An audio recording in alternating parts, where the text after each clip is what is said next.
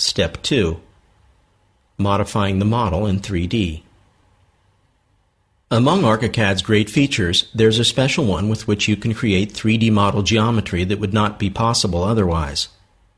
This feature is called SEO. SEO stands for Solid Element Operations. We will perform a couple of SEOs on our model to become familiar with this feature. Activate the 6.2.1 Perform SEOs in 3D Preset View.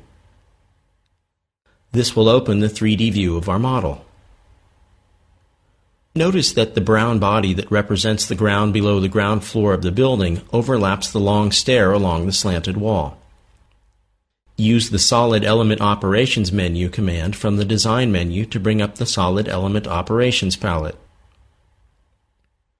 Select the brown slab representing the ground and click the Get Target Elements command in the SEO palette. This will be the element on which the SEO will be performed. Using shift clicks, select the stair and the two slanted walls.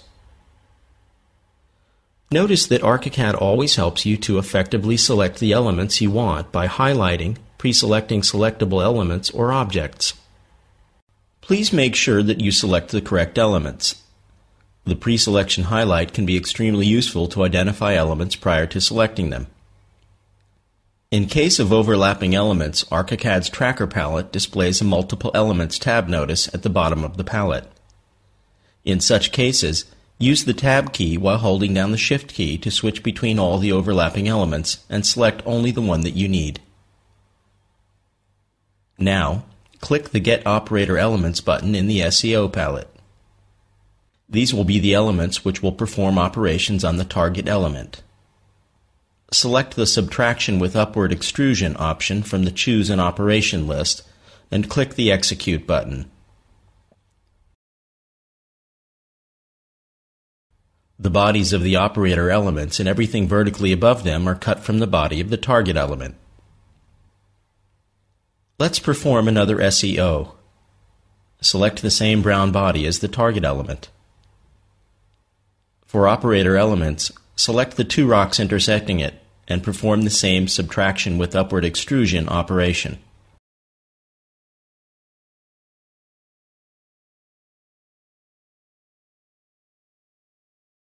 The body is now correctly cut.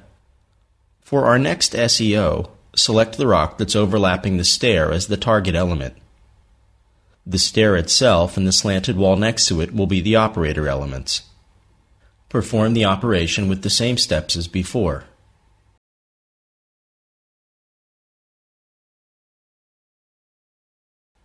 Next, select the two vertical walls extending above the balcony top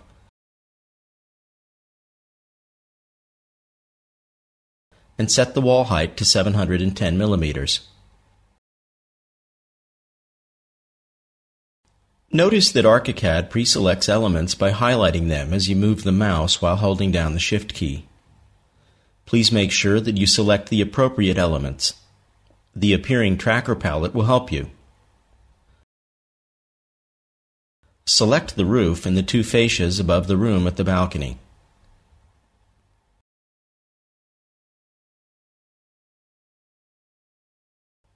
Click the lower left corner of the left fascia and select the Elevate command from the appearing PET palette.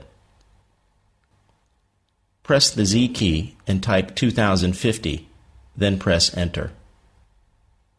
This will be the new vertical position of the point we clicked. By doing this, we lowered these elements by 600 millimeters. One wall now extends above the roof we just lowered. Apply an SEO using subtract with upward extrusion on the wall as the target, with the roof as the operator. Close the Solid Element Operations palette. Activate the next 6.2.2 preset view.